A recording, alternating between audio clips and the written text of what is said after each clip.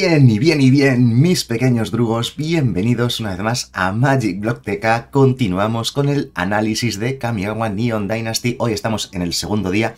Hoy nos toca analizar el color azul. Ya sabéis que durante esta semana de lanzamiento de cada nuevo set analizamos todos y cada uno de los colores de todas las, o sea, todas las cartas en sus diferentes colores de cada nueva colección que va saliendo.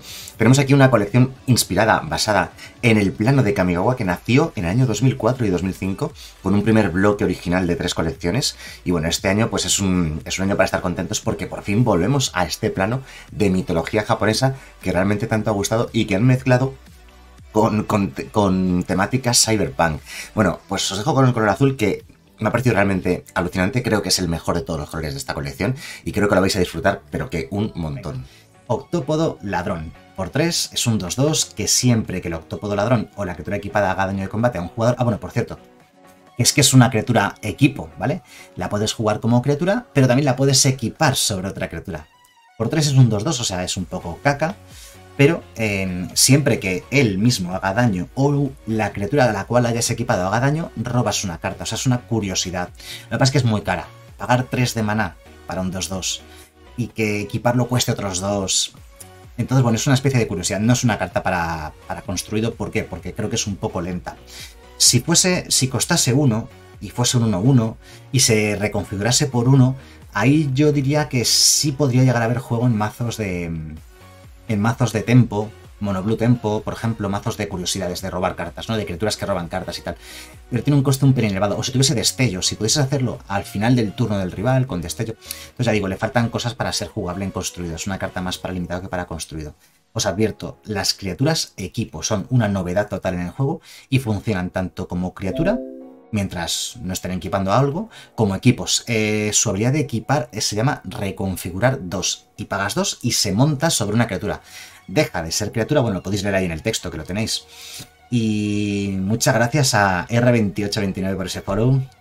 Buenas tardes. Iván, Iván Fernández, muchas gracias también por ese follow. Entonces ya digo, no, es una carta jugable en construido, es demasiado costoso eh, hacer sus habilidades y jugarla y todo eso y poca fuerza y resistencia, ¿no? Y no tiene ninguna evasión, ni volar, ni nada. Entonces ya digo, no es para construido, si acaso para limitado. Anclar en la realidad. Por 4 es un conjuro que como coste adicional tienes que sacrificar o un artefacto o una criatura. O sea, para empezar, este hechizo es bastante costoso. 4 de mana, sacrificar una criatura o un artefacto. Vale, a ver cuáles son los efectos.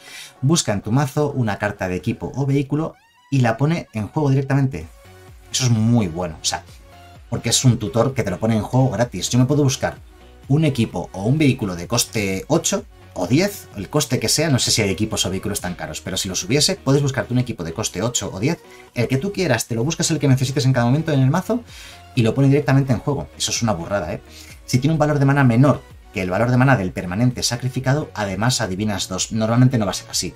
Tú vas a sacrificar, ¿qué vas a sacrificar? Una criatura mala, un 1-1 que tuvieses por ahí de coste 1, una cosa mala, ¿no? Una, caca de bicho. Tú sacrificas cualquier guarrería y con anclar en la realidad, pues te buscas un buen equipo o un buen vehículo y lo pones en juego gratis. Me parece realmente.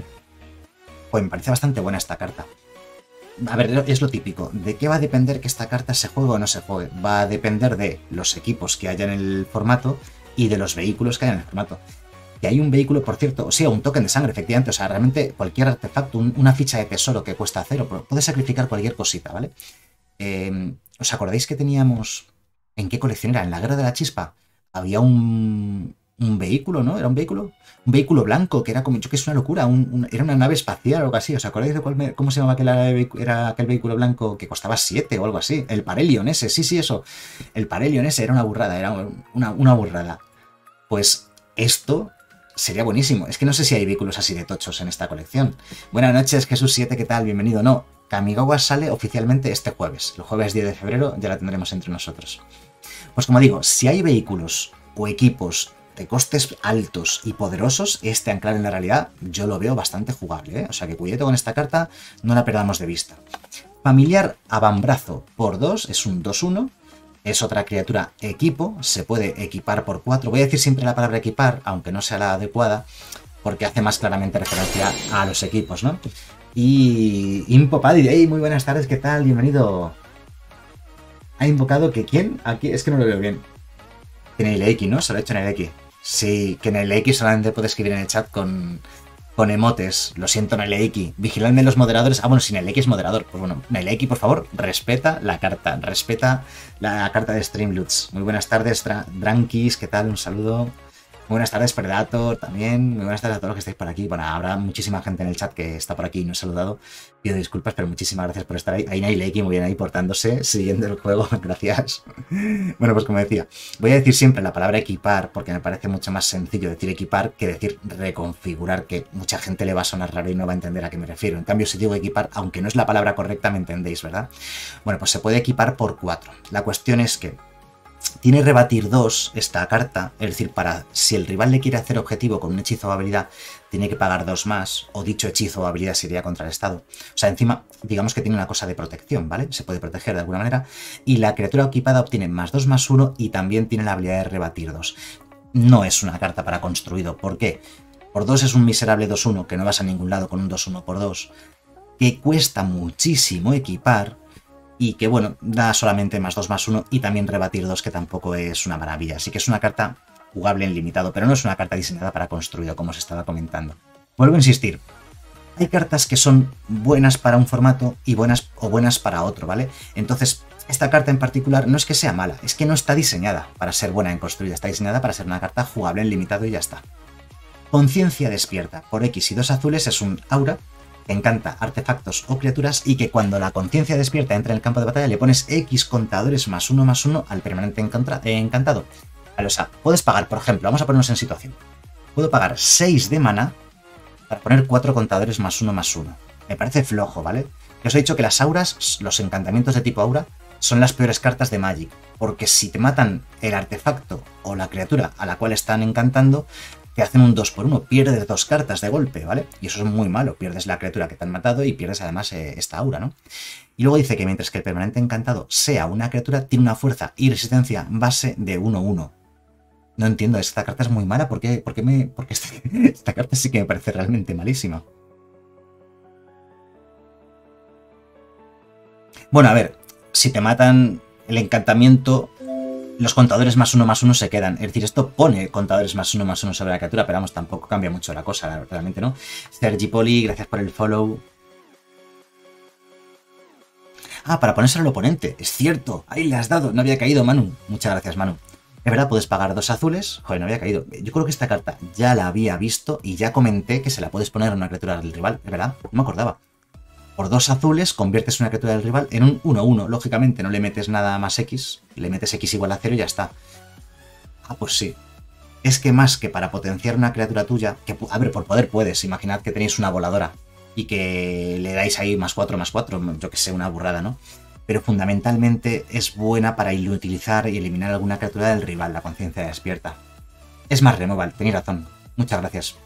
Que ya me di cuenta en su momento cuando vi esta carta, pero no me acordaba, no había caído ahora es más un removal contra criaturas del rival que un potenciador de criaturas propias. Técnica encubierta por 3 es un 2-4, es un, ninja, un ninja artefacto criatura humana, una cosa ahí rarísima. Tiene ninjitsu 2, vale, vuelvo a repetir, ya sabéis cómo va ninjitsu. Si tú atacas con una criatura y no es bloqueada, puedes hacer ninjitsu ahí, ¿vale? Y pones esta en su lugar girada y atacando. Y la que no fue bloqueada te la subes a la mano, ¿vale? Por 2 de mana. Siempre que haga daño de combate a un jugador, puedes poner en el campo de batalla una carta de artefacto de tu mano con valor de mana menor o igual de ese, que ese daño. No me parece nada mala. A ver, los artefactos que puedes poner en juego con esto, como pegados, pues van a ser de coste 2 o menos en general. Pero los pone gratis y no es nada malo eso. Hay ciertos artefactos que pueden funcionar y de hecho te puedes haber subido una criatura artefacto a la mano y ponerla en juego gracias a esto. Y además se puede jugar pagando 3. Puedes pagar 3 y juegas un 2-4 que cuando haga daño al jugador, metes artefactos gratis. Y hemos visto que hay muchas criaturas artefacto. Me parece que este bicho no es nada malo para un posible mazo de criaturas artefacto y sobre todo criaturas pequeñas, rápidas, artefacto, ¿no? Podría ser. Y por cierto, Get Charmed, gracias por ese follow, bienvenido, buenas tardes. Y Dicesia también, gracias por el follow, buenas tardes. ¿Verdad? Una criatura que se llama técnica no tiene mucho sentido, ¿verdad? Es un poco incongruente, no tiene sentido, pero bueno. No me parece mala del todo esta carta. Le veo cierta. Le veo cierto grado de jugabilidad. Todo lo que sea jugar cartas gratis. Es que la puedes poner en el campo de batalla. Directamente. Me parece buena habilidad. Bueno, o sea, no me parece mala del todo esta carta. Descubrir lo imposible. Por 3, un instantáneo que te permite mirar las 5 cartas del top de tu mazo, exiliar una de ellas boca abajo y el resto las pones en el fondo del mazo en orden aleatorio. Puedes lanzar la carta exiliada gratis, sin pagar su coste de maná, si es un hechizo de instantáneo con valor de maná 2 o menos. Si no lo haces, pones esa carta en tu mano. Vamos a ver, vamos a ver, ¿qué tenemos aquí? Esta carta es buena. Esta carta es bastante buena. Es un buen manipulador de biblioteca. Este descubrir lo imposible es por 3 un instantáneo. O sea, tiene un coste relativamente bajo y es instantáneo, lo puedes jugar en cualquier momento, al final del turno del rival o lo que sea. Miras 5 cartas, que 5 cartas son bastantes, eliges cualquiera de ellas y te la vas a poner en mano. ¿Vale? De 5 cartas, la que tú quieras te la pones en mano. Pero, si era un instantáneo de coste 2 o menos, en lugar de eso lo puedes jugar gratis directamente. Y seguir profundizando, manipulando biblioteca o matando alguna criatura del rival o lo que sea gratis directamente. La carta es bastante buena, tiene bastante profundidad, te puede permitir elegir una carta cualquiera y ponerla en mano, pero ya digo, si es un instantáneo de coste 2 o menos, te permite jugarlo gratis. Es que hay que leerla de esa manera, yo creo. El descubrir lo imposible hay que leerlo como de 5 cartas te pones una en mano. Pero si era un instantáneo de coste 2 o menos, lo puedes jugar. Así que... Hmm, Está bastante bien esta carta, bastante interesante para mazos que buscan, que buscan cosas en la biblioteca, ¿no? Y que jueguen muchos hechizos. De hecho, es un doble hechizo. Estás lanzando dos hechizos, ¿no? Por el precio de uno, realmente, para mazos de hechizos. Está interesante. Mucha manipulación para Icet. Para una Icet de esas típicas de hechizos de Delver of Secrets, de Indagador de Secretos o cosas por el estilo, podría funcionar, ¿no? Protocolo de interrupción. Sí, lo que comentaba Manu Castellano por ahí por el chat. Este bicho, el de técnica encubierta, es como el pulpo de Icoria. Sí, es parecido, parecido. Tiene, tiene una habilidad que funciona igual, digamos. Eh, ¿Cómo se juega y tal? No, pero el tema de su efecto es el mismo. De haces daño, robas carta. Y se puede montar sobre otra criatura, que en aquel caso no era montar. ¿Cómo era? Era mutar, ¿no? Era mutar sobre la otra criatura. Y muchas gracias a Cobalt eh, Joe, Colbart Pro, gracias por ese follow, muy buenas tardes. bueno, es verdad, como dice por aquí, por ejemplo, mm, Darth Incubus, buenas tardes, por cierto, robas un counter y lo lanzas, por ejemplo. Counters de coste 2 te lanza esto. Lo buscas y, lo lanzas, no está nada mal, es lo que necesites en cada momento. Bueno, protocolo de interrupción. Por dos azules, ¿qué es esto? Por dos azules, instantáneo, como coste adicional, vale, tiene un coste adicional. Para lanzar este hechizo, gira un artefacto enderezado que controlas o paga uno. Contrarresta el hechizo objetivo. Esta carta es buenísima. ¿Habéis visto lo buena que es esta carta? ¿Habéis visto lo buena que es esta carta? Es un counter spell. Si, tienes un mazo con artefactos, muchos artefactos ni siquiera se giran en ningún momento, porque lo único que necesitas, por ejemplo, los equipos, los equipos, los vehículos. Puedes tener en mesa ciertos artefactos, las fichas, fichas de tesoro, fichas de sangre, fichas que tengas en mesa. No, no, no es un negar por dos. El negar ya es por dos. Es un counter spell contrarresta el hechizo objetivo. Es un hard counter por 2. En el peor de los casos, es un hard counter por 3. O sea, puedes girar, puedes girar un artefacto o pagar uno más. Este counter es de los mejorcitos que han salido en los últimos años. Ya sé que sin artefactos no es tan bueno. Sin artefactos es un counter más del montón, de los de coste 3, ¿vale? Si no tienes artefactos, es un contrahechizo de coste 3 del montón. Pero ¿qué es lo que pasa? ¿Qué es lo que pasa? En esta colección hay un montonazo de artefactos que hay un mazo azul blanco de control ahora mismo que lleva el Teferi nuevo, el Teferi nuevo este de... ¿De qué colección era? El Teferi nuevo, de Innistrad ¿no? El Teferi este de coste 4 que endereza artefactos. Es decir, hay ya un mazo de Teferis que lleva artefactos. Con este protocolo de introducción ese mazo mejora bastante. Bueno, y para histórico mejor, ya si hablamos de otros formatos, pues pasa a ser una carta mejor. Eh, muy bueno este protocolo de interrupción, es un counter muy muy bueno, puede marcar mucho el, formato, ¿eh? un counter que se puede jugar por dos. pensad en fichas de tesoro, fichas de sangre, cualquier artefacto, equipos, eh, yo que sé, cosas que puedan estar en mesa. Por dos azules tienes un hard counter, un instantáneo. En el peor de los casos cuesta tres, en el peorísimo de los casos cuesta tres, es un counter. Y se juegan, los counters de coste 3 se juegan, así que esta carta es buena. Anda, pero si han sacado el capturar la esencia, lo han reeditado. Este estuvo en estándar hace muy poquito, era de Ixalan, ¿no? El capturar la esencia salió hace 3 o 4 años en Magic y lo han vuelto a reeditar. Contrarrestas un hechizo de criatura objetivo y le pones un contador más uno más uno hasta una criatura objetivo que controles. Es otro hard counter que cuesta 2, pero claro, este es solo para criaturas, pero es igualmente bueno, sobre todo en formatos pequeños como, como estándar. Sí, por ejemplo, Jesús 7 dice que él lo juega en la Mono Tempo. Yo a día de hoy ya en la Mono Blue Tempo no lo llevo este counter, porque en histórico hay muchos mazos que te encuentras que ni siquiera tienen criaturas y no hace nada. Hey, Nexus Play, gracias por el follow. Pero sí, yo en, yo en su momento en la Monoblue Tempo de histórico jugaba esta carta. Y Naila Iki nos recuerda la con la carta de correos. Hay 35. ¿Cómo? Ah, vale, sí. Que cuándo puedes hablar, ¿no? Básicamente es lo que estaba preguntando. Dice, a 35 puedo hablar con... Qué buenas cartas en azul, buena colección. La verdad es que me está encantando la colección. El color blanco me ha encantado y el color azul me está pareciendo muy, muy poderoso. Bueno, lo que decía, esta carta es muy buena, muy buena. Por dos contra esta criatura es bueno. Y encima, si tú tienes criaturas también, puedes poner algún contador más uno, más uno extra. Muy buenos contrachietos, ¿eh? Demasiado buenos, de hecho, incluso. Hey, Super Sad Boy, gracias por ese follow, bienvenido. Royal Snipers, buenas tardes. ¿Qué te parece el arte de esta expansión? Tengo la sensación de que está un poco sobrecargada. ¿Tú tienes la sensación de que está un poco sobrecargada? A mí no me está dando esa sensación. A mí en general me está gustando. Veo más Kamigawa original que Cyberpunk. La verdad, sinceramente. Esperaba, esperaba más, más cosas mecánicas, digitales, futuristas. Y mira, aquí hay un buen ejemplo. Me recuerda más a un estilo clásico de Magic. A un clásico. Bueno, esto, esto en particular. Estos dibujos no recuerdan mucho a Kamigawa, la verdad. Estos en particular. La verdad es que estos de aquí me recuerdan un poco a Kamigawa, pero no me está pareciendo sobrecargada, me está gustando, no está mal. De, todas maneras, a mí el arte, me gusta el arte antiguo, cuando los dibujos estaban hechos a mano y tenían poco, poca, poca digitalización. Estaban hechos a mano, quiero decir que estaban hechos, pues eso, no sé cómo se hacen los dibujos antiguos de Magic, pero eh, con acuarela, óleo, no sé cómo se llama. No, soy malísimo dibujando y no tengo ni idea de cómo va. Pero se nota que todos estos tienen procesos digitales detrás, todos estos dibujos. Hey, Guti Solo, gracias por el follow, bienvenido Guti. bueno, como decía, continuemos. Agente de los futuristas. Por 4 es una criatura. Ninja humano 3-4. Que mientras esté girado, tiene fuerza y resistencia base 1-1 y no puede ser bloqueado. O sea, a ver, es un 3-4. Y si te giras para atacar, por ejemplo, pasa a ser un 1-1. Te puedes pagar 3 para enderezarlo. Un poco raro esto, ¿no? Y un ruso loco, gracias por el follow. A ver, entonces, a ver, a ver. Ah, vale, claro, es que es, un, es imbloqueable, claro. O sea, tienes por 4 de mana una criatura 3-4 que cuando la giras para atacar pasa a ser 1-1, imbloqueable. Y la puedes enderezar y entonces vuelve a ser un 3-4, pero sigue siendo imbloqueable. Ah, bueno, no, le das la vuelta, o sea, es decir, la enderezas, la enderezas cuando el rival, cuando llega el paso de bloqueadores y el rival no te ha bloqueado, la enderezas para que pegue de 3, cuando ya no ha sido bloqueada. En el fondo esta carta es muy mala para construido, porque es demasiado cara cuesta 4 de mana un bicho que pega 3 y que tienes que pagar otros 3 para que sea realmente imbloqueable, ¿no?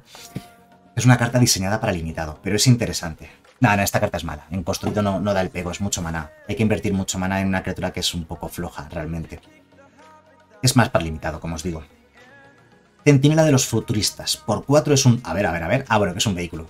Un vehículo, claro, el, el marco de los vehículos es este, que es distinto de las cartas normales artefacto. Bueno, por 4 es un 6-6, que se puede tripular por 3. O sea, es decir, si yo giro fuerza criaturas que sumen fuerza 3, este vehículo se tripula y se convierte en una criatura 6-6. Es bastante malo. A día de hoy, incluso si fuese directamente ya una criatura, por 4 un 6-6 sin habilidades, ni siquiera esta carta se jugaría, ¿vale? Es una carta que no es buena en, en construido. Goshintai de la sabiduría perdida. Hay un Goshintai de estos en cada color y son los altares, ¿vale? Los altares son un tipo de carta, un tipo de encantamiento que salió en la Kamigawa original y que, bueno, nunca fueron muy buenos, pero siempre se han jugado sobre todo a nivel casual. Y de hecho, el año pasado en estándar y en histórico tuvieron su momento de gloria, que no iban nada mal los mazos de altares. Los altares son mejores cuantos más altares juntes en mesa, ¿vale? Bueno, pero aquí en esta colección han vuelto a lanzar unos nuevos, unos nuevos altares que además de ser encantamientos legendarios, también son criaturas. En este caso tienes por 2 de mana un 0-4 vuela. O sea, como criatura pues no dice mucho, ¿vale? Como criatura pues un 0-4 que vuela, pues vale, no vale para nada. Lo importante no es la criatura, lo importante es lo que tienen después. Al comienzo de tu paso final, es decir, al final del turno, puedes pagar un mana. Cuando lo hagas, el jugador objetivo muele X cartas, donde X es la cantidad de altares que controlas, pues un poco lo que ocurrió con el altar blanco que vimos antes. Cuantos más altares tienes, más poderosa es su habilidad.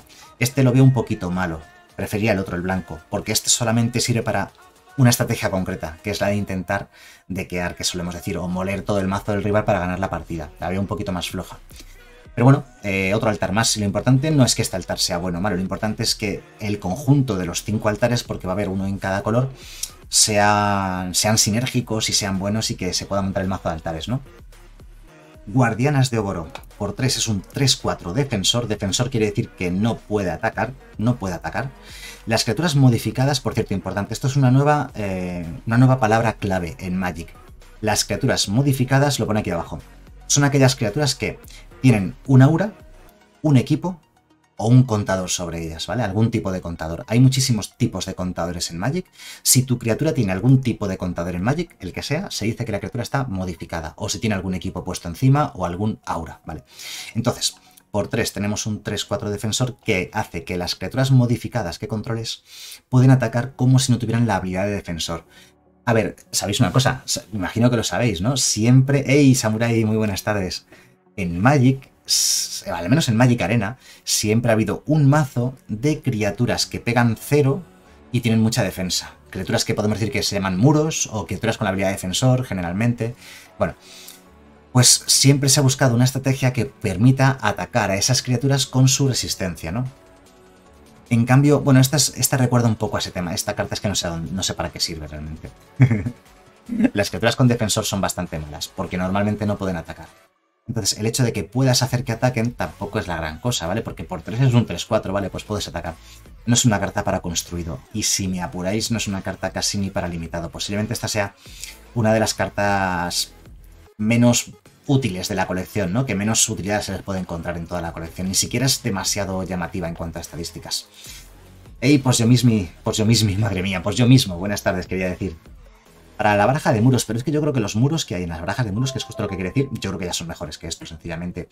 Y secuestranomos, muchísimas gracias por esos dos meses ya de suscripción, se agradecen un gracias, gracias por quedarte, gracias por repetir sub y muy buenas tardes, por supuesto. Y venga, seguimos. Estamos analizando, ahora que está entrando mucha gente al directo también, estamos analizando al completo toda la nueva colección de Kamigawa Neon Dynasty que sale este jueves 10 de febrero en Magic Arena. Y es la nueva colección de Magic, de Magic en general, em, basada en el bloque, en el plano original de Kamigawa que salió en Magic por primera vez en 2004-2005. Venga, seguimos. Invocar a los vientos. Por 5 es un conjuro que ganas el control del artefacto o criatura objetivo y lo enderezas. A ver, los hechizos de este estilo que roban permanentes siempre son buenos. Este el problema que tiene es el coste. Ya no solamente es que sea coste 5, es que es coste cuádruple azul, lo cual te lleva a que muchos mazos que no sean mono azules van a tener problemas para juntar cuatro azules en el quinto turno y poder robar algo. Eso sí, el efecto es muy poderoso. Le robas el artefacto o criatura objetivo que tenga.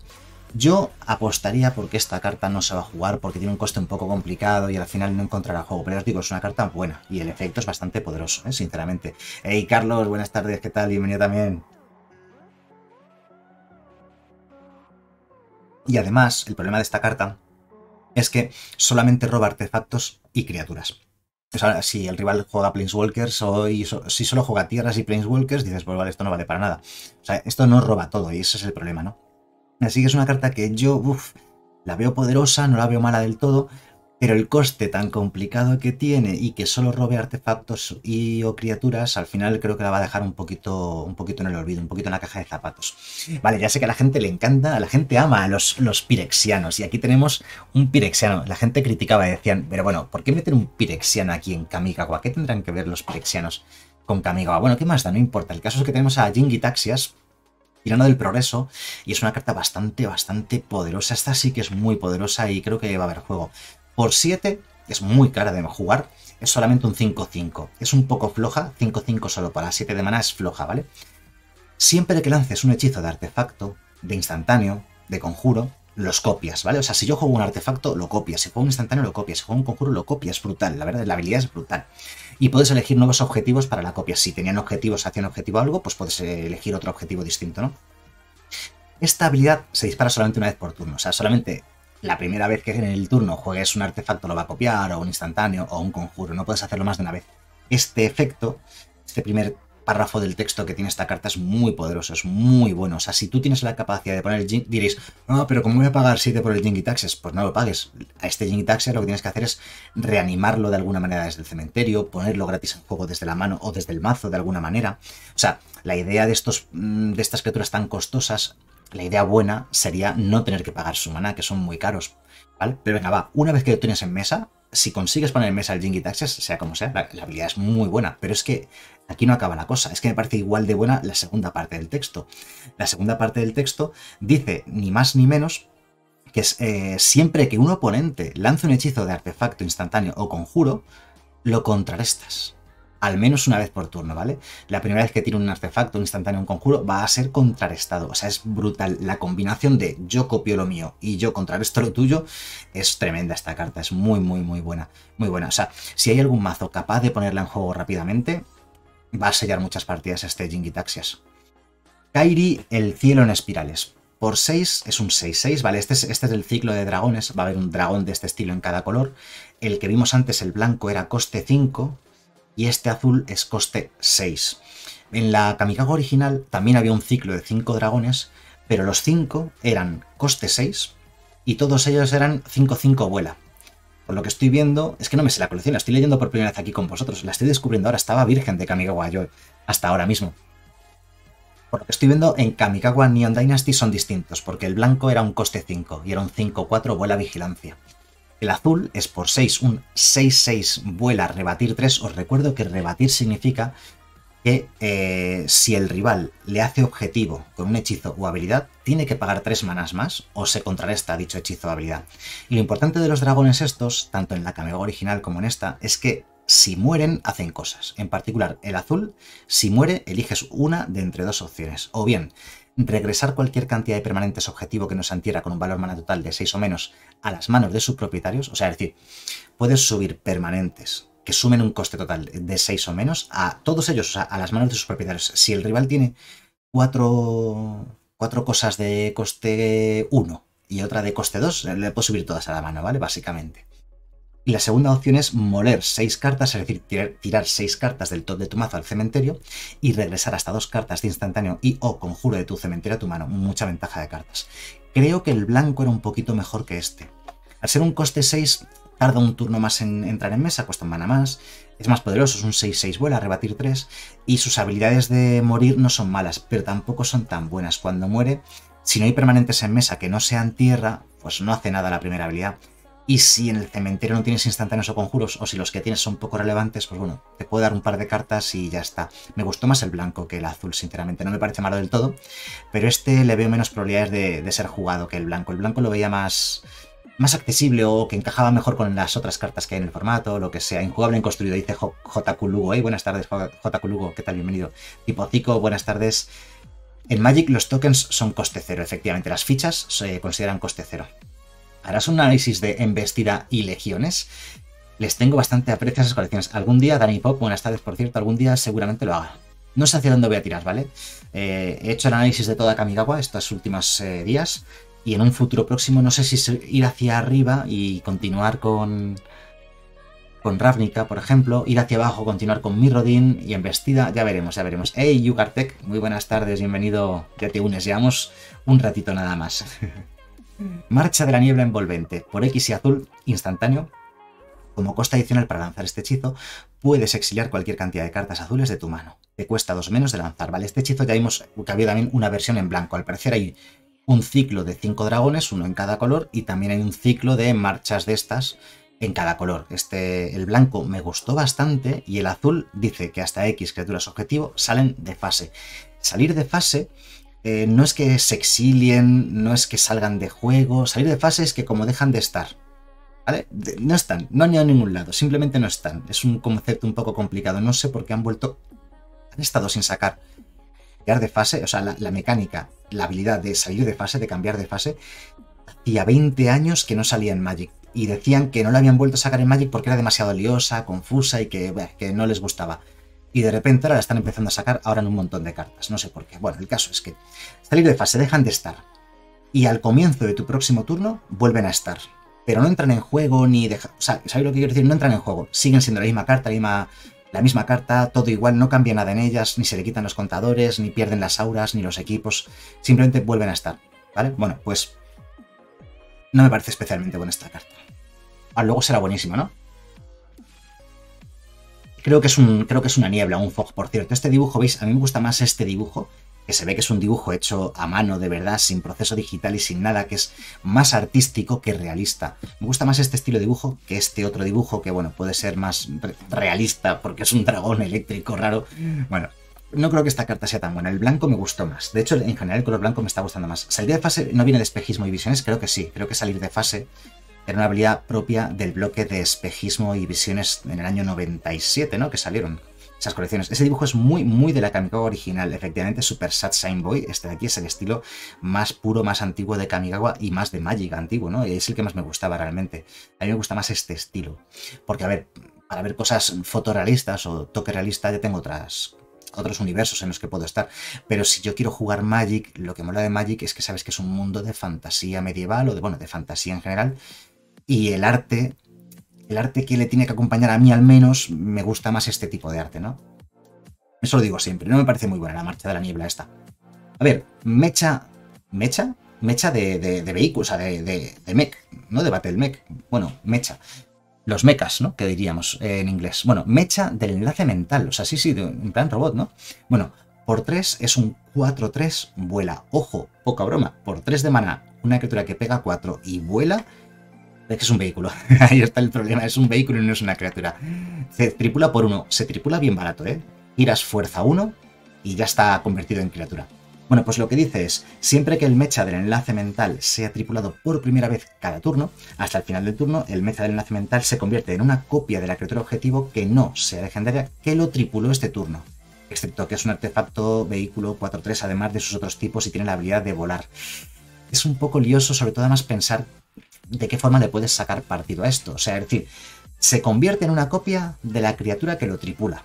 Me imagino que la gracia sería que la criatura que lo esté tripulando pues tenga vínculo vital, dañar primero, vigilancia, que la criatura con la que tripulas esta, este mecha del, alcance, del enlace mental perdón, sea una criatura con una habilidad útil, potente de ataque, de bloqueo, dañar dos veces, algo del estilo, ¿no? Entonces tienes un 4-3 vuela bastante potente. Oye, pues, claro, dañar dos veces ahí, Cristian, buenas tardes. Justo, justo nos hemos leído la mente. Yo he dicho lo mismo. Bueno, pues... Double Strike, de ahí también lo dice Darth Incubus. Claro, con Double Strike es cuando ya esto empieza a ser potente. Esta carta la veo suficientemente buena para que se juegue en construido si hay sinergias, si encuentras criaturas baratas, que no les importe, que no te importe usarlas para tripular, que las gires simplemente para tripular esta, y le puedas dar una buena habilidad, vínculo vital, dañar primero, dañar dos veces, sobre todo, dañar dos veces sería lo más importante, ¿no? Los samuráis que cuando atacas solo, ah, mira, esa sí que es buena. Ahí tiene mucha razón Xbox. Los samuráis que cuando atacas solo hacen cosas. Ahí está, ahí está. La cuestión es eso, es buscar la sinergia. Por eso digo, esta carta Así a bote pronto no parece buena, pero si le encuentras una sinergia interesante con, un mazo de criaturas y eso, esta carta es bastante jugable, es bastante buena, ¿eh? Tiene, mucho potencial. Me gusta, me gusta, es buena. Cangrejo Caparazón Reflectante. Por 7 es un 5-7 con rebatir 3. O sea que el rival, si quiere hacerle objetivo con un hechizo o habilidad, tiene que pagar 3 más o se contrarresta. Dicho hechizo o habilidad.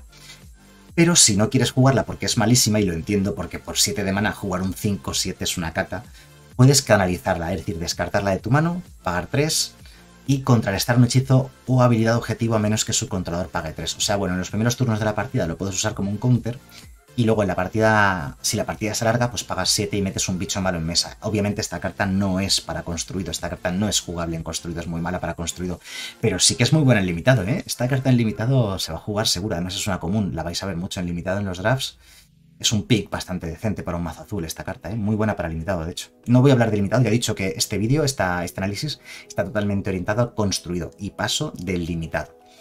Porque es que si no, al final el vídeo duraría, duraría 10.000 horas y haré, haré otro vídeo aparte para hablar del tema del limitado, ¿no?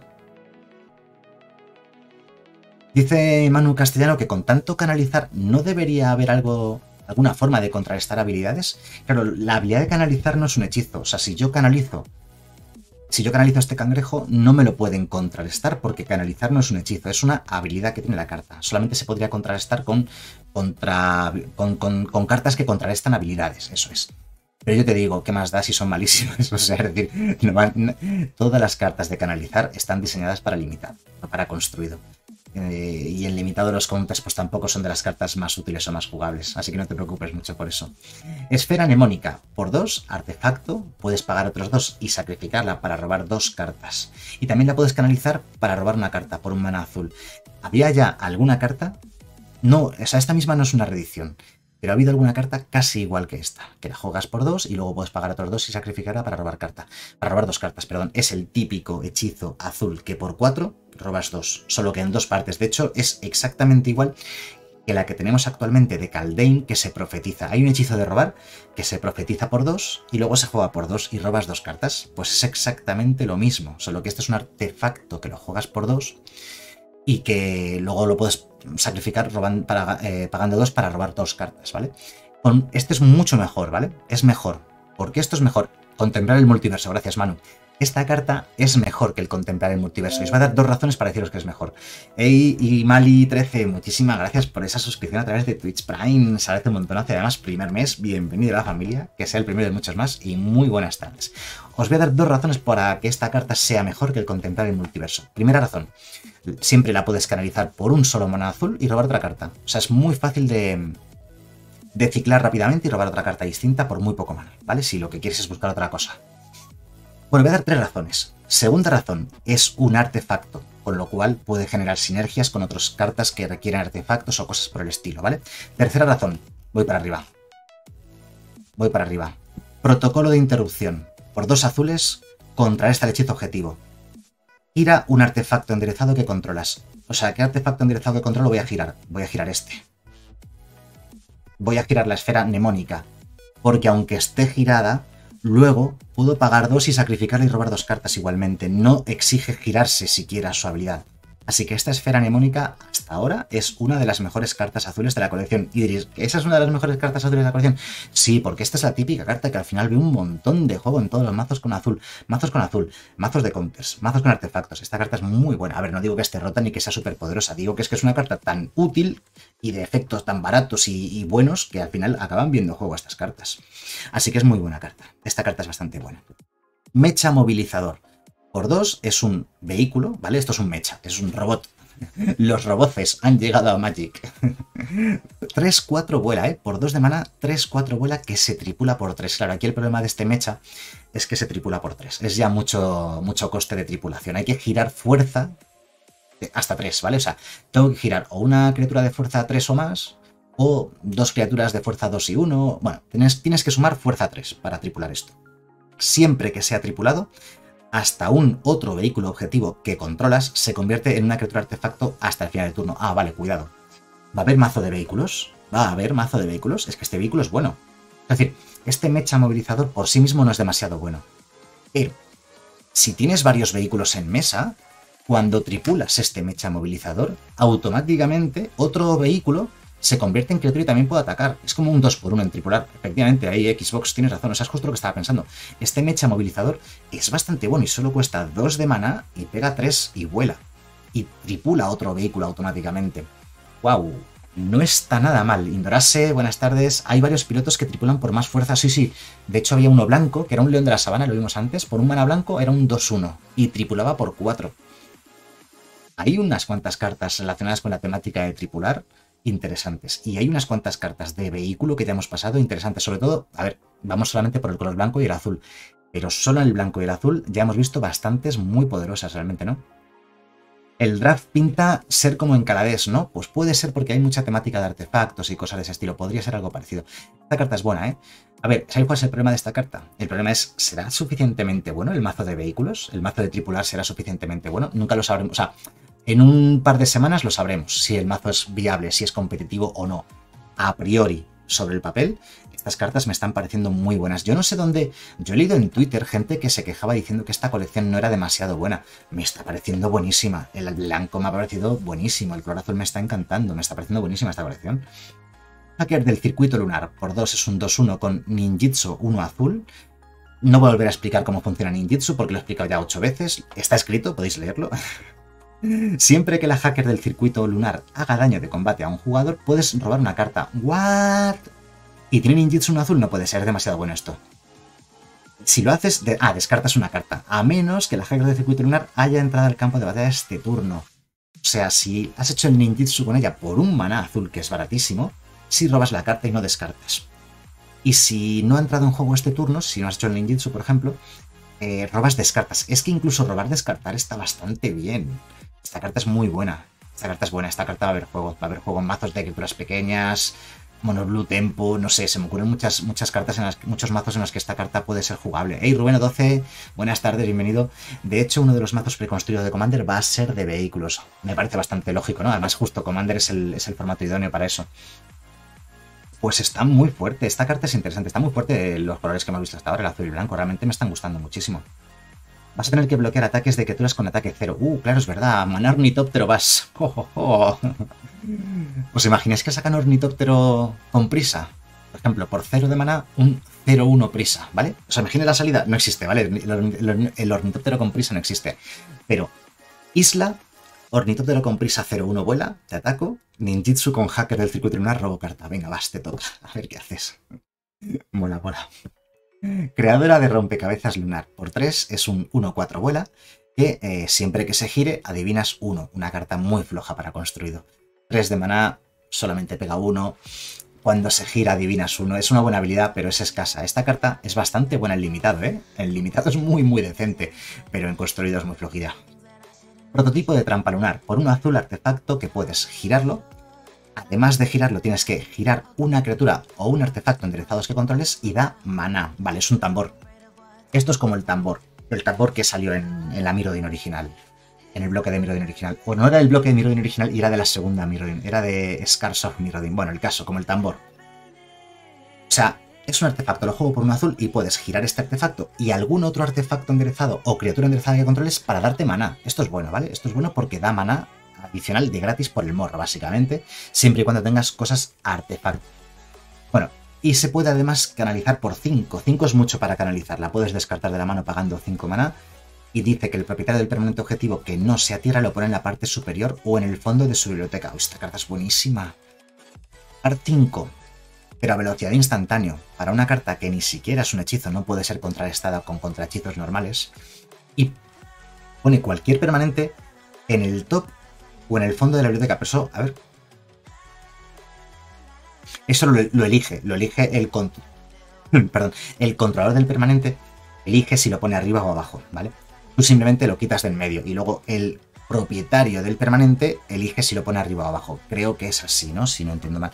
Esta carta es bastante buena. Para mazos de artefactos. Es un acelerador de maná y es un artefacto en mesa útil. Y luego cuando tengas... Cuando la partida avance y te, robes uno de estos, ya no lo vas a querer jugar porque ya te sobra el mana, supongo, y lo que vas a hacer es canalizarlo por 5. Este prototipo de trampa lunar es tan bueno como un tambor para generar mana al principio de la partida, y un buen removal, un removal decente cuando la partida se alarga. Un poquito caro, pero vamos, ¿qué más quieres, no? Ya hace bastantes cosas. Experta en trampas lunares. Por 4 es un ninja 2-2 muy flojo, ¿vale? O sea, por 4 de mana, un 2-2 y el ninjitsu tampoco es barato. El ninjitsu es 3, es un ninjitsu altillo, ¿no? Ya puede ser muy buena la habilidad. Dice que cuando entra en juego, regresa hasta una criatura objetivo a la mano de su propietario. Ojo, la habilidad es buena. Esta habilidad es bastante buena. es un efecto Manowar, Bouncer, de subir eh, criaturas a la mano del rival cuando entra en juego, pero es muy caro para lo que es. Es una carta diseñada para limitado, no es jugable en construido porque los costes son demasiado altos y en construido va a haber siempre... Es que la razón de por qué esta carta y otras similares a esta no son jugables en construido es que en estándar o en el formato que sea, ya hay otras muchas cartas con efectos similares por mucho menos maná, así que nunca jugarías esta por ese motivo. Y Garrison, gracias por ese follow.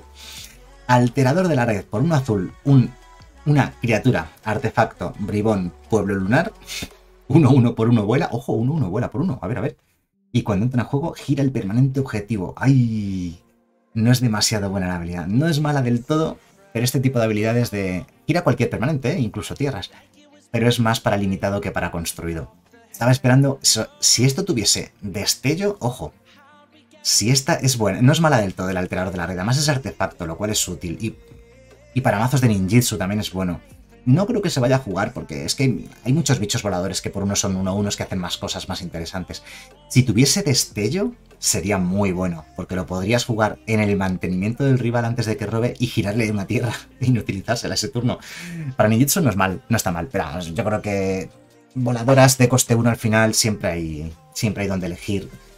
Y su habilidad, teniendo en cuenta que no tiene destello, que lo tienes que jugar en tu fase principal, lo que le vas a girar al rival es menos relevante que si tuviese destello y lo pudieses tirar en, el turno del rival. Ahí es donde esto moraría más. Así que, puede que se juegue al final en algún mazo de esos de los que hemos estado hablando, ¿no? de, ninjutsu, pero no es tan buena, no es tan buena. Y me quedaba ahí ah, diciendo, para la, para la Mono Blue Tempo, ah, se ha quedado a las puertas. Incisión planar por dos, instantáneo, exilia artefacto o creador objetivo y luego lo regresa eh, con un contador más uno más uno. Es un efecto blink. Y Gozongo, gracias por ese follow, buenas tardes. Esta carta está bien. Eh, incisión plenar. Eh, lo que pasa es una carta de tipo blink, de tipo pestañeo. Las cartas de tipo pestañeo son aquellas que exilian y devuelven al juego. ¿Y por qué son útiles? Son útiles por varios motivos. Son útiles porque, por ejemplo, si me van a matar una criatura, la sacas de juego y al volver ya es otra. Se contrarresta el hechizo, no, no te la matan, ¿vale?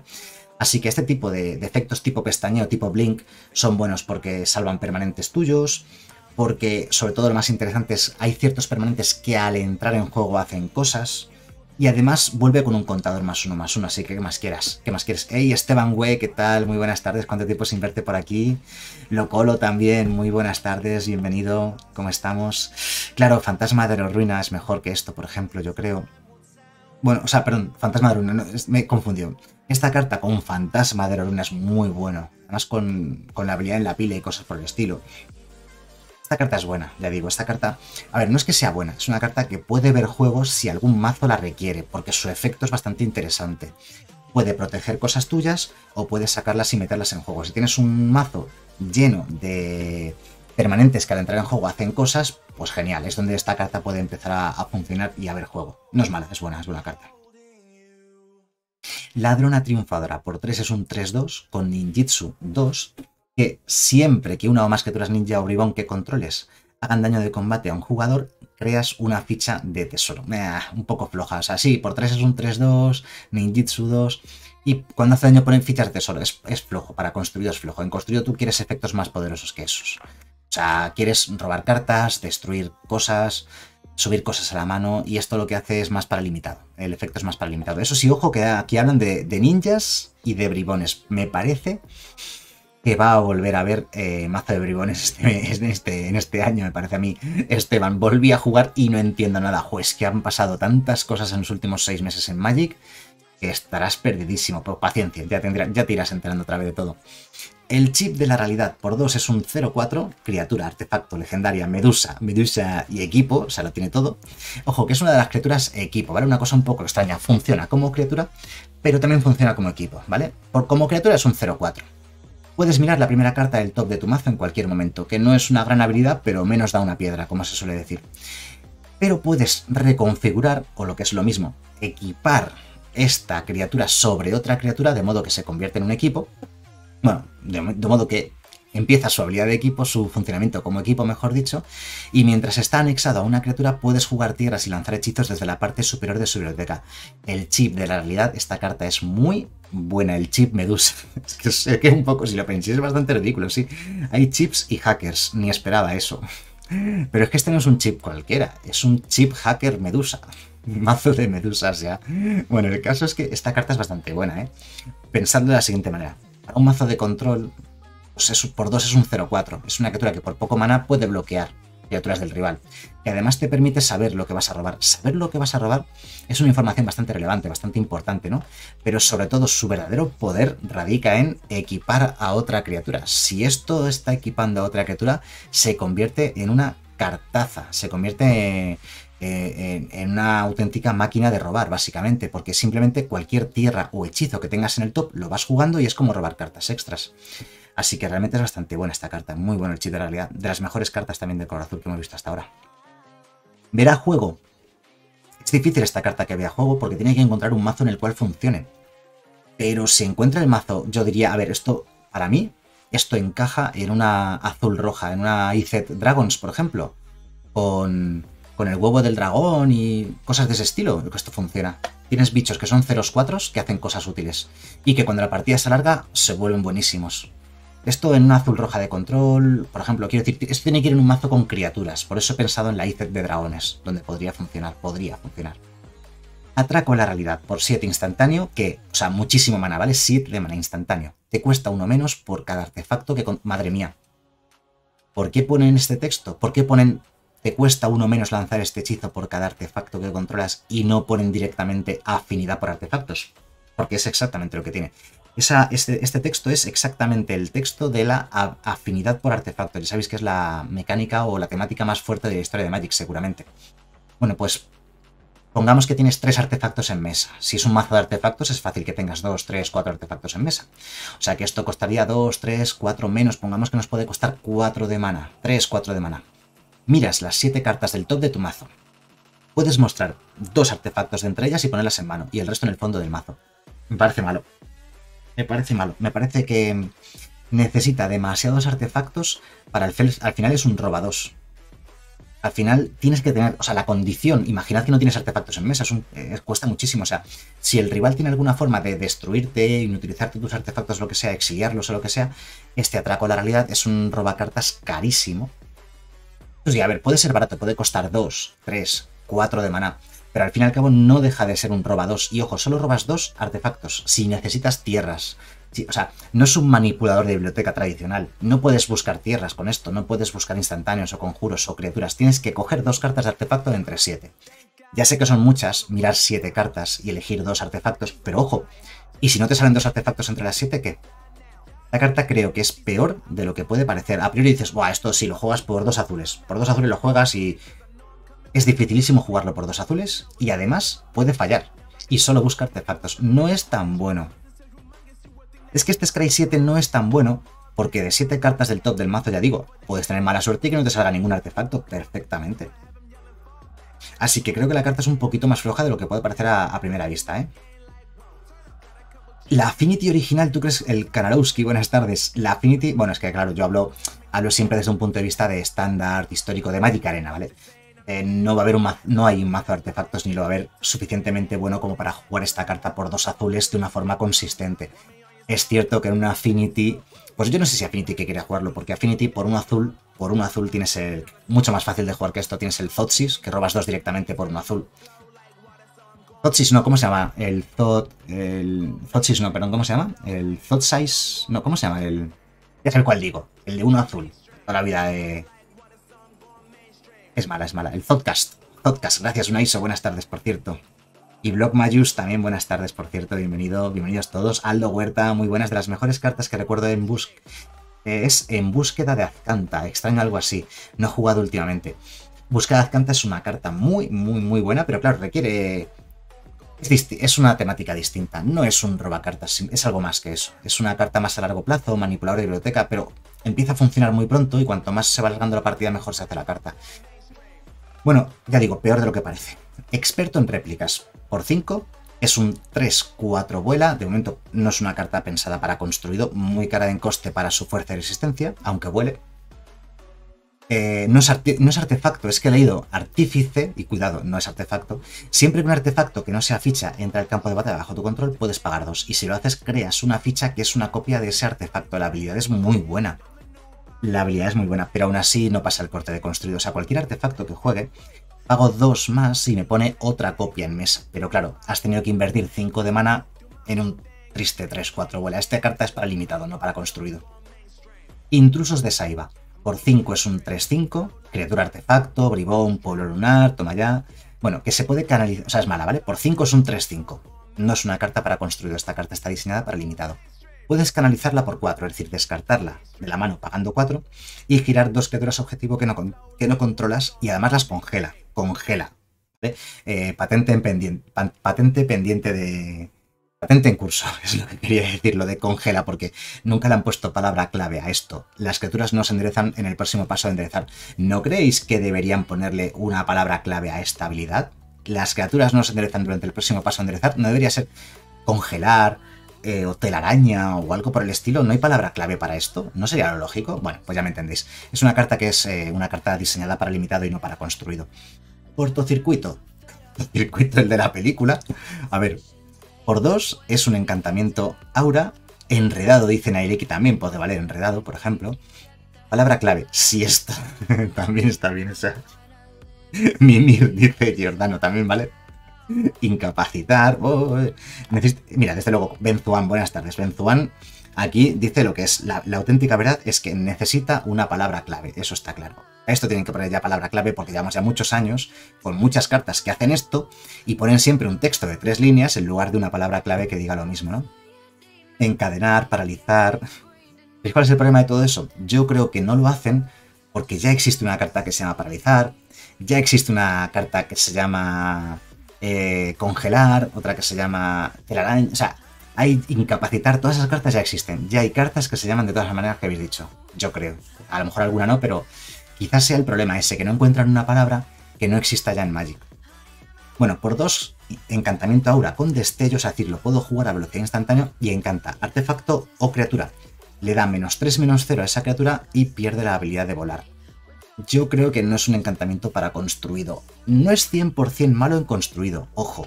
Yo creo que algún mazo mono, sobre todo un mazo mono azul, mazo mono azul que no tiene otras formas de eliminar criaturas del rival, podría llevar esto en algún banquillo. No me parece malo del todo, ¿vale? Destello, menos 3, menos 0 y quita volar, cuesta 2 de mana, lo veo decente, pero vamos, al final esta carta está más pensada para limitado que para construido. Hoy Nadacieros, por 4, criatura pez, que vuela, por 4 un 3-3 vuela, mal. ¡Ey, madre mía, Ichis Troyer! Muchísimas gracias por esos 8 pedazos de meses de suscripción. El mes que viene tenemos nuestro querido bebé. Y pregunta además, ¿cómo ves el power level hasta ahora? Lo veo bastante alto. Yo no sé por qué, he leído ya varios comentarios diciendo que el power level de esta colección era un poco bajo, que no les había gustado. Ahí me está encantando la colección en todos los sentidos. Y me está pareciendo que tiene un power level alto. Quizás la gente no está sabiendo ver la- lo buenas que son algunas de estas cartas. Es que hay muchas cartas que me están pareciendo realmente muy buenas. Algunas son un poquito difíciles de ver la idea que hay detrás de ellas, pero me están pareciendo muy buenas. ¿Os acordáis con Caldein, por ejemplo? La gente tampoco vio lo buena que era Caldein y ahora mismo Caldein tiene un montón de cartas prohibidas. Bueno, prohibidas o que están en, la, en el punto de mira de ser prohibidas, porque han prohibido varias cartas de Caldein, pero es que se han dejado sin prohibir el dragón del Puente Dorado, el carruaje de Ésica, que son cartas que también se ha hablado mucho de prohibirlas. Muchísimas gracias, Taco Kaichou. Muchísimas gracias por esos tres meses ya suscrito aquí al canal. Sigo aquí y seguiré por los vídeos de revisando colecciones. Ah, sí, pues tranquilo, que de esos seguirá habiendo durante mucho tiempo, porque no va a ser un, no va a ser un trabajo de un día para otro. me va a llevar años completar ese proyecto, pero lo voy a hacer. Yo creo que en un par de añitos lo tendremos. Habré analizado las cuántas colecciones hay de Magic ahora mismo, oficiales, sets, colecciones y expansiones básicas y colecciones eh, de expansión. Habrá unas 90 o así puede ser. Tengo analizadas ya unas 10 o 15 aproximadamente, así que bueno, ya hay una parte, una pequeña parte del trabajo hecha. En un par de añitos lo tendré completado, madre mía. Se dice pronto, pero lo conseguiremos.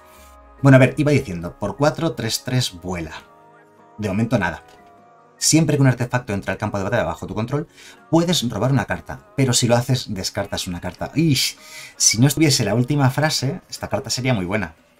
Siempre que juegues un artefacto, siempre que entra un juego bajo tu control un artefacto, robas cartas sería muy buena. Pero como tienes que descartar también, esto es bastante malo. Para ser común, es buena, ¿eh? Esto te lo pueden haber sacado como rara perfectamente y haberse quedado tan tranquilos. Ah, esta carta no es jugable en construido, es para limitado. Horadar el hechizo. Han reeditado el, el Horadar el hechizo. El Spell Pierce en español. En inglés, perdón. Horadar el hechizo en español, Spell Pierce en inglés. Este es uno de los mejores contrahechizos de la historia. Es de mis favoritos, el Horadar el hechizo. Una carta muy, muy buena, pero os aviso. No es una carta que suele haber demasiado juego en estándar. En estándar no suele haber juego porque en estándar normalmente las. Normalmente, ¿eh? no siempre, pero normalmente las cartas más poderosas suelen ser criaturas. Y cuando juegan hechizos muy poderosos de costes muy altos, los mazos suelen tener que generar mucho maná. Es que en estándar el maná suele, suele, haber muchos mazos de rampeo que generan mucho maná y al final horadar el hechizo es una carta que renkea en un metajuego como estándar. A ver, no digo que no se vaya a jugar, sigue siendo muy buena.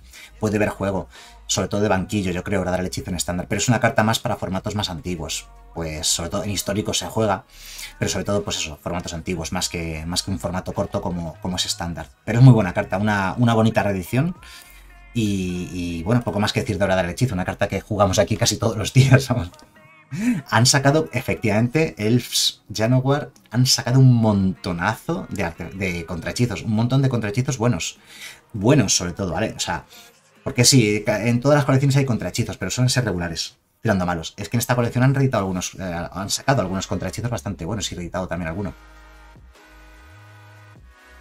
Monoblue Tempo para estándar ya se podía hacer y no era mala del todo. Una Monoblue Nevada de estándar es viable a día de hoy. Pues con Kamigawa se pueden hacer ya muchas cosas, con ninjutsu sobre todo, y los vehículos y los buenos contrahechizos que han sacado. Puede, puede que surja una Monoblue Tempo de estándar. Pilotar por 3 instantáneo hasta el final del turno, la criatura o vehículo objetivo se convierte en una criatura artefacto con fuerza de resistencia 4, 5 y robas carta. A ver, es bastante potente que por solo 3 de mana a velocidad instantáneo puedas convertir cualquier cosita, un 1-1 en un 4-5 y además robas carta. Pero al final este tipo de hechizos pues no suelen ver demasiado juego en ningún mazo, ¿vale? Ni siquiera en un mazo de spells, de lanzar muchos hechizos, de potenciar criaturas o lo que sea no creo que vayamos a ver pilotar en ningún mazo. ¿Sabéis que es lo único que le hace jugable? Que robas carta. Así que no has perdido carta. Pero generalmente estos hechizos cuando funcionan es cuanto más bajo es su coste. Coste 1, coste 2, este es coste 3, ya es un pelín más alto. Así que lo veo complicadillo. Tameshi, arquitecto de la realidad. Por 3, es una criatura legendaria hechicero pueblo lunar. Es un 2-3 de estadísticas que siempre que uno o más permanentes que no sean criaturas regresen a cualquier mano, el color azul es el color característico de, subir cosas a las manos, ¿vale? Ya sean del rival o tuyas.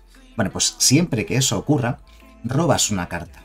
Cosa que solamente se dispara una vez por turno. Me parece bueno, ¿vale? O sea, su habilidad inicialmente no es la gran cosa el bicho, es una criatura legendaria que por 3 solo pega 2 y que te exige algo que no es fácil tampoco que ocurra. Devolver permanentes a las manos no es, tan fácil. Además, eh, dice que no sean criatura, lo cual limita todavía más el tema. Puedes subir tierras, artefactos, encantamientos, pero bueno, a cualquier jugador, a ti o al rival. Ya sería cuestión de buscar las sinergias. Vamos a ver si tiene algo más porque así todavía no es jugable.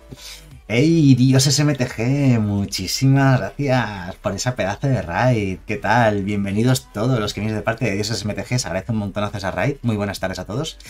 Estamos analizando Kamigawa Neon Dynasty al completo, desde cero. Ya llevamos un par de horitas y pico de, directo, hemos analizado el color blanco, ya estamos en la recta final también del color azul, nos queda un poquito todavía del color azul, pero muy poquito ya. Y nada, deciros que me estoy, me estoy quedando totalmente sorprendido con la calidad de la colección, me está gustando muchísimo, me está pareciendo muy buena, muy bien diseñada, con un nivel de poder muy alto de las cartas y, sobre todo muchas, muchas cartas muy útiles y posibles nuevas temáticas y, mazos competitivos. Dios SMTG, muchísimas gracias por esa raid, se agradece un montonazo. Bueno, ya digo, voy súper rápido, porque si no al final el directo va a durar 10 horas o 12 horas y no quiero que se me vaya tanto. Son muchas cartas. Bueno, entonces, como digo, también si de momento el primer párrafo está bien, vamos a ver si con el segundo párrafo mejora un poquito más, porque si no todavía no es jugable para mí. Por X y blanco regresa a una tierra que controlas a la mano de su propietario. Vale, o sea, ella misma incorpora un texto que dispara la primera parte del texto. Eso es bueno. Vale, entonces te regresas una tierra a la mano, ¿vale? y regresas un artefacto o encantamiento objetivo con valor de mana de X o menos de tu cementerio al campo de batalla. O sea, te devuelves una tierra a la mano, con lo cual disparas su habilidad y robas una carta. Y además, hace reanimate del cementerio de un artefacto o encantamiento de coste X o menos. Uf, parece que tiene bastante... Es el hijo de Tamillo, en serio, Tamesi es el hijo de Tamillo. Me parece que es bastante o sea, a ver, no me parece que sea muy buena. Porque, no, lo puedo hacer el mismo turno que la juegas, no, tiene ni que girarse ni nada. Te anima cosas. Es que si hay un mazo que puede, yo qué sé, que realmente consigue tener en el cementerio artefactos, encantamientos variados y puedes reanimar el que tú quieras, robas cartas extras. No me parece una carta que sea nada mala. Eh, si encuentra. Lo difícil de esta carta, la veo buena, la veo con mucho potencial. El problema de esta carta es que encuentre un mazo que la, que pueda explotar estas habilidades, ¿no? Las habilidades son buenas, pero el problema es ese. ¿Qué mazo podría querer una carta como esta? Ah, eh, o sea, va a ser lo complicado. Lo complicado es que esto encuentre un mazo. Está bien, ¿eh? Mira, las sagas, por ejemplo, como dice de olla, buenas tardes, por cierto, con sagas, pero las sagas hasta que mueren... es decir, si has jugado una saga de turno 2, es que ni siquiera se ha muerto cuando Tamesi empieza a activar su habilidad, pero bueno, sí, sagas podría ser un ejemplo. Ya, veríamos con qué es... Eh, con qué, es, eh, con qué se puede juntar esa, esa, este, ¿cómo se llama? Meshi. Perfeccionamiento de Tamillo por 4, encantamiento aura, destello, que puede encantar artefacto, criatura o planeswalker, ¿vale? Bueno, pues cuando este perfeccionamiento de Tamillo entra en juego, irá el permanente y si es un equipo, lo desanexa de la criatura a la cual estuviese equipada. Eso es interesante. El permanente encantado pierde todas las habilidades y no se endereza durante el paso de enderezar de su controlador. ¿Sabéis que esta carta me parece bastante buena? Incluso para construido. Es que inutiliza un Planeswalker. Inutiliza, o sea, por 4 de maná azul. El color azul generalmente no puede interactuar de esta manera con otros permanentes. No puede inutilizar, destruir, eh, exiliar. Solo subir a la mano normalmente. Entonces, es un poquito caro de maná. 4 es un poco alto. Pero tiene destello. E inutiliza artefactos, criaturas o Planeswalkers. Los gira al entrar en juego y pierden todas sus habilidades y no se enderezan. Me parece una carta. Es que yo pienso eso en Planeswalkers. ¿Cuántas veces el color azul ha podido interactuar con Planeswalkers de verdad? O con artefactos, muy poquitas veces. Con criaturas es más a menudo, pero, con artefactos y Planeswalkers le da un extra a esta carta. No es tan mala. A ver, no sé. No suelen jugarse. Estas cartas en construido no suelen jugarse, pero tomo nota mental, me la guardo por si algún día esta carta pudiese ser útil en algún mazo azul, que a veces no tiene, ¿no? A ver, a ver, dice Naileki, no lo es. Es un malote que le mete el chip de la realidad a Tamillo para convertirla, madre mía. Convertirla con M y con B. Te voy a pegar así, Naileki, en un pirexiano por orden de Tecerete. Hey, Parra, buenas tardes, bienvenido. Vale, vale, gracias Naileki por la aclaración. O sea, que no es, eh, no es el hijo de, de Tamillo. Qué pena, con la ilusión que me habría hecho. Bueno, eh, Parra, buenas tardes, acabo de llegar. ¿Ya están todas las cartas de Kamigawa? Sí, ya se, ya se publicaron todas, ya son todas oficiales. Ya se conocen todas. Andrew Pack, buenas tardes. Bueno, venga, va, llegamos a una de las mejores cartas de la colección y más llamativas, que es Tetheret, Traidor de la Carne, que es un Planeswalker por 4 de mana, entra con 4 contadores de lealtad, que está bastante bien. Primera habilidad que tiene que es estática permanente. Te cuesta 2 menos activar la primera habilidad activada de un artefacto que actives cada turno. Esto es muy bueno. En este formato va a ser muy, muy bueno. O sea, ya solamente por esto ya la carta ya es buena. Hay un montón de equipos, artefactos con habilidades activadas, que te va a costar 2 menos activarlas siempre, ¿vale? O sea, la primera vez cada turno, siempre cada uno de los turnos. Y esto, ya solamente esto, me parece que puede ser tremendamente útil, muy bueno. Primera habilidad, más un contador de lealtad. Robas dos cartas, poca broma, y luego descartas dos cartas. A menos que descartes un artefacto. Es buenísima. El, primer, el más uno es buenísimo. Robas dos. Si, si, pudieses. O sea, si fuese roba dos, descarta dos, seguiría siendo buena. Pero es que es roba dos y descártate un artefacto.